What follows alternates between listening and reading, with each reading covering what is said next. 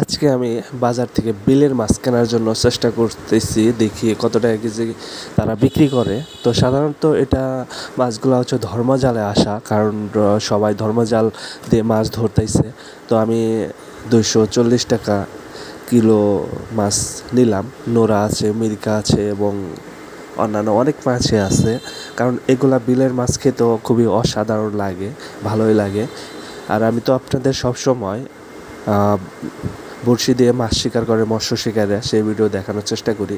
তো আজকের ভিডিওটা একটু ব্যতিক্রমীয় তো এই কাকা অনেকগুলা ধর্মজাল দিয়ে দুই টানে মাছগুলো ধরে ফেলেছে।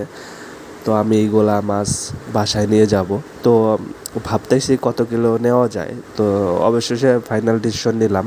আমি আরও চার কেজি মাছ নিব। কারণ এই মাছগুলা হাটে বাজারে পাঁচশো টাকা কিলো বিক্রি করে থাকে বর্তমানে। আর মাছের দাম কিছু প্রচুর যাচ্ছে বাজারে।